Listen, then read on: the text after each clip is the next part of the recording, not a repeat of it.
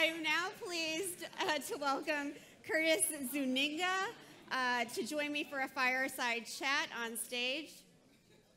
Give Curtis a round of applause as I continue to introduce him.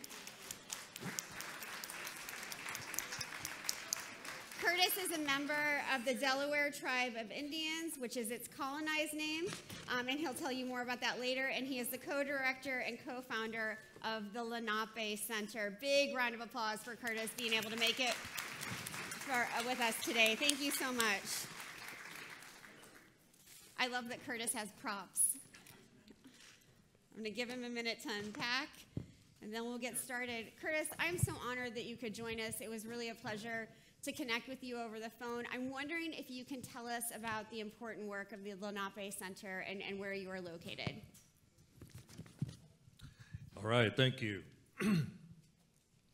I am Curtis Zunigha. I'm an enrolled member of the Delaware Tribe of Indians. As was mentioned, Delaware, that's our colonizer name. In our language, we are Lenape, and I want to thank Mauricio for the land acknowledgement acknowledging that this is the original homeland of the Lenape people. Our original homeland extended from like the foothills of the Catskills Mountains all the way down to the Delaware Bay. So we're picking up Manhattan, we're picking up all of New Jersey, eastern Pennsylvania, an important corridor in our history, but also an important corridor in the history of this United States of America. I am uh, I am a co-director of a very small nonprofit called Lenape Center, which is uh, was founded 13 years ago here in New York City. And uh, the work that uh, we are doing above all is to let people know that the Lenape still exists, as was brought up, I believe, I believe by Michael, mm-hmm. that uh, you know it's like people still think of us as way in the past that we don't exist anymore. A lot of that has to do with forced removal and forced colonization on our people. From the very first encounters in the early 17th century, here come the Dutch, later the English, and then the Americans.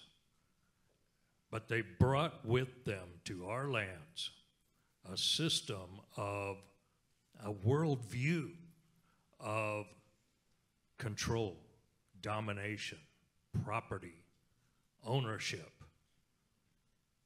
And that is totally opposite of the worldview of the Lenape people.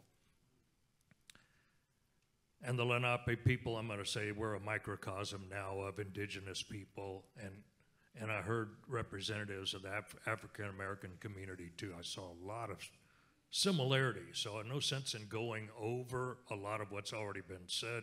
I have learned a lot, and I'm very humbled to be in your midst, folks. Um, but that system of domination,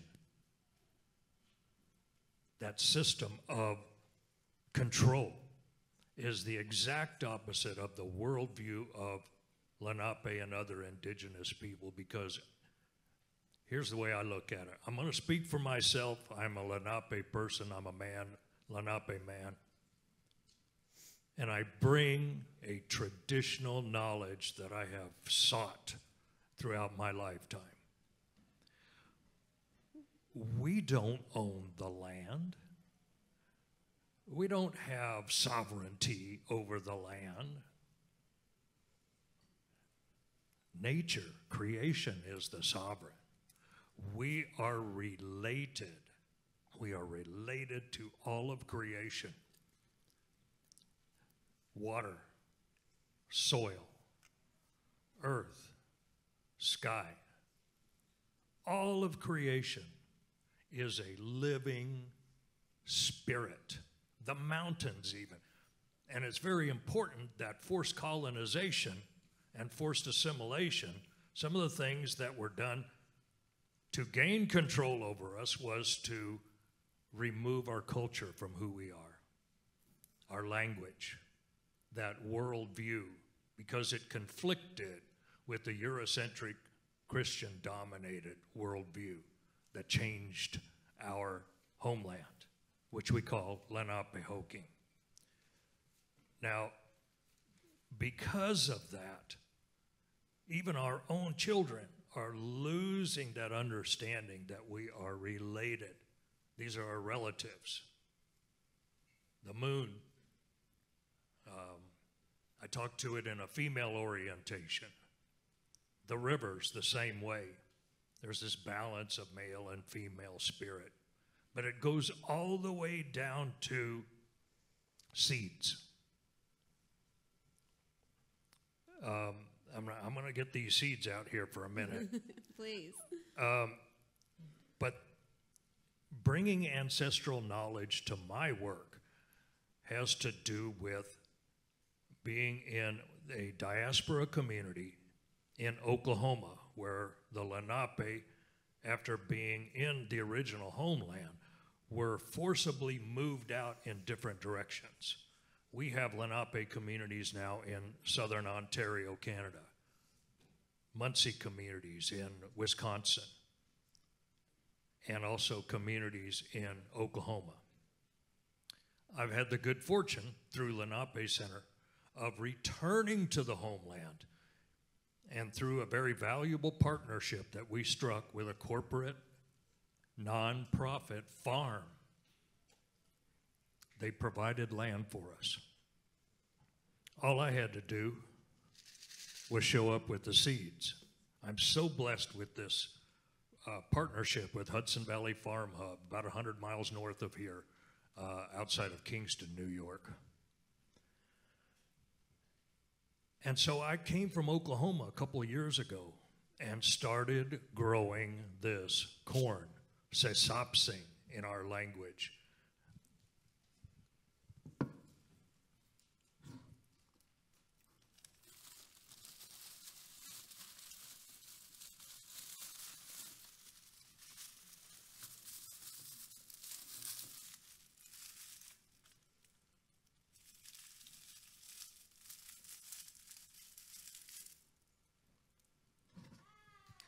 It's a blue flint corn.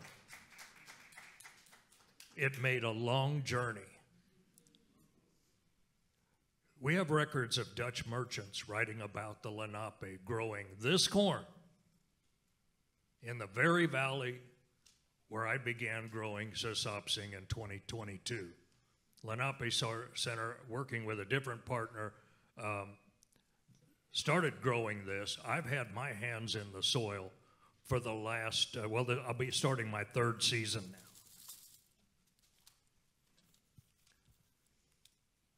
As part of our forced removal from these lands, I can tell our story and then you can imagine it, the same model being used around the world, even today, where a dominant outside force comes in, annexes the land, runs the indigenous people off.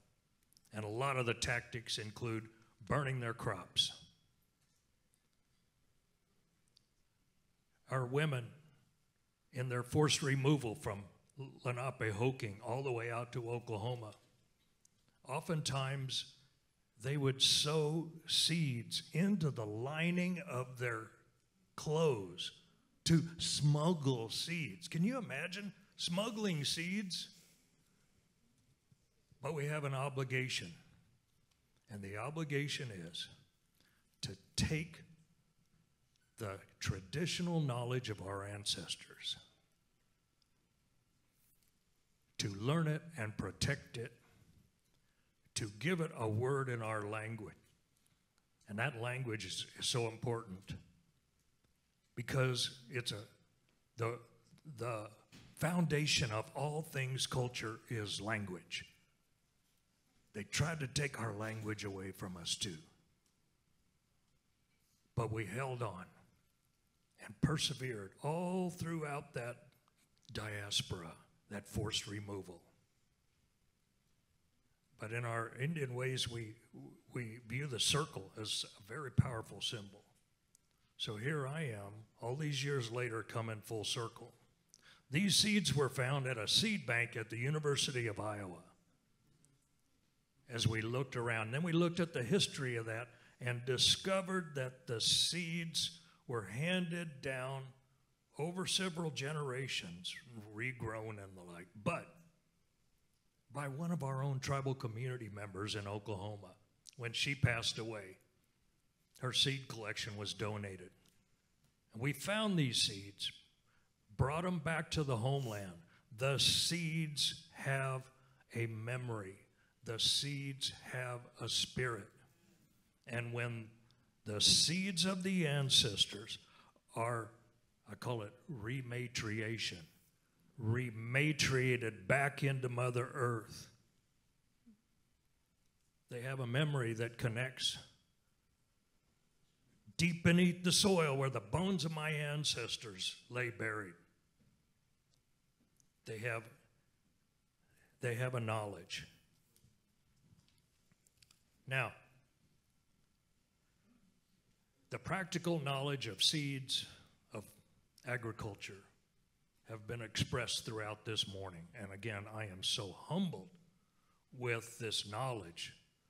Um, I don't, I don't have all that scientific knowledge. I'm just trying to learn about our intrinsic knowledge, that which is in our customs, traditions, storytelling, which is a big element here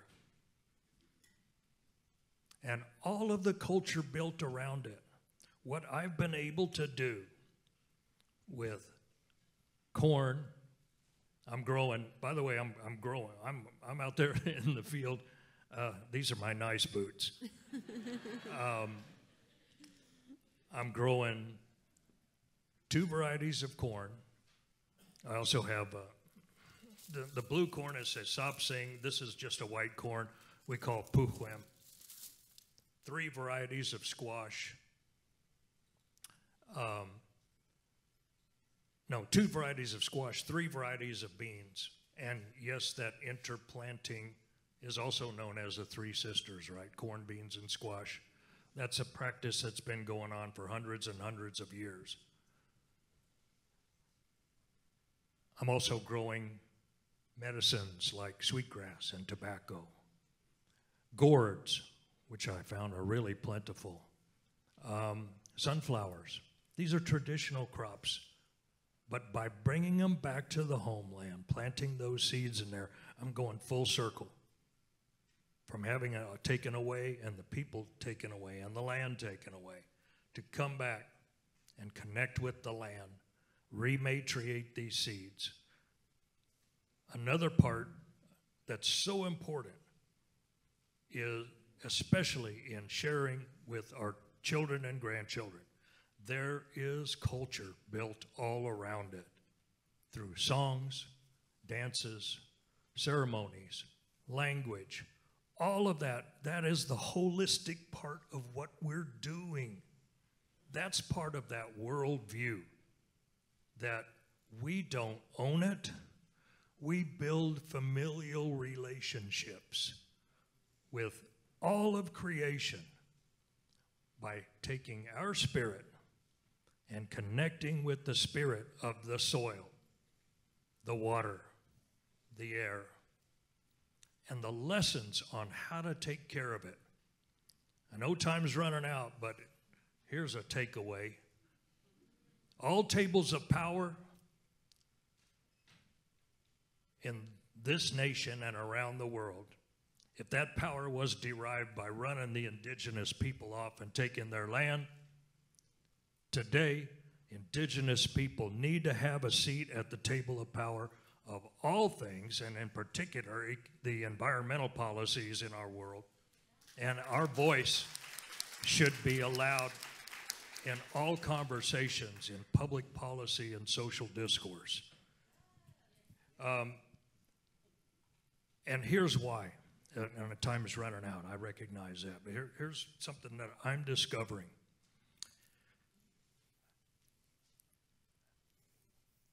As part of that force removal, to see our land taken away, to see our warriors killed, to see our women and children suffering as they went on that, what I call the trail of broken treaties. Mm. Children being born into an environment of war and battle and land theft and racism and all of that. It's going on around the world today, right now, folks. People learned a lesson of what happened to my people 400 years ago. And therefore, we carry with us a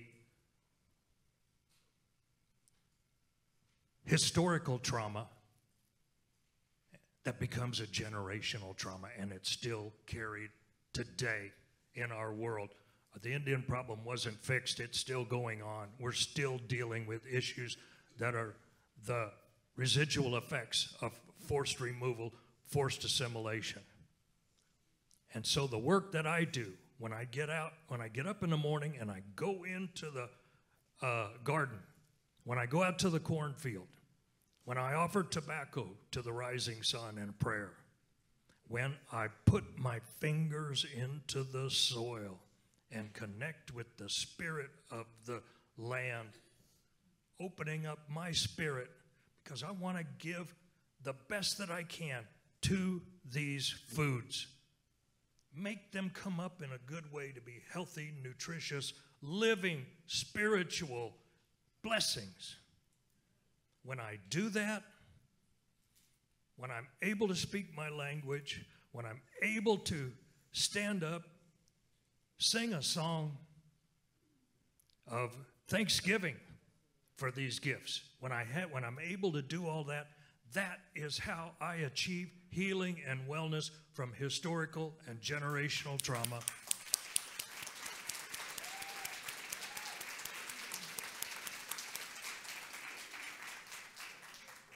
And, and I, and I want to say that as, as a Lenape, and I think in a lot of indigenous cultures, we give thanks to the knowledge and the sacrifices of the ancestors, and we have an obligation to teach our children and our grandchildren so that circle never closes.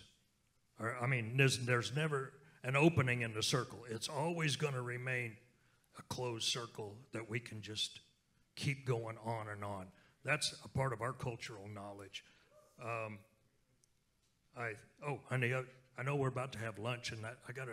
We, we don't want to forget all of the great foods that come out of what we grow. I've learned how to make a really wonderful uh, blue corn muffins with blueberries.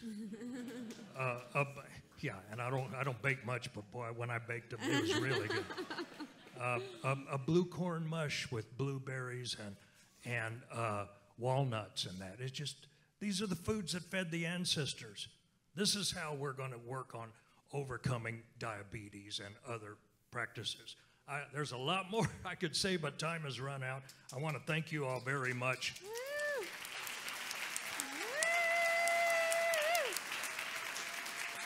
Thank you to Curtis, and thank you for the work that you are doing to heal the land and people. I am so honored that you could join us today. Thank you so much. Please give him another round of applause.